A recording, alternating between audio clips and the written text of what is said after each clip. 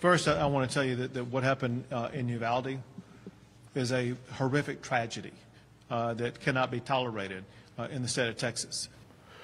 We begin tonight about 90 miles west of San Antonio in Uvalde, where 14 students and one teacher were killed earlier today at an elementary school. Now, right now, details are limited. We do know the 18-year-old suspect is also dead. Here's Governor Greg Abbott earlier today in Abilene with more on that school shooting. He shot and killed horrifically, incomprehensibly, uh, 14 students uh, and killed a teacher. Uh, Mr.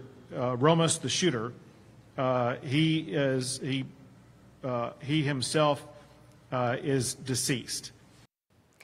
Governor Abbott saying that suspect may have killed his own grandmother as well before moving to Robb Elementary and opening fire. We have a 25 News team on the way there now. We'll have more information on KXXV.com.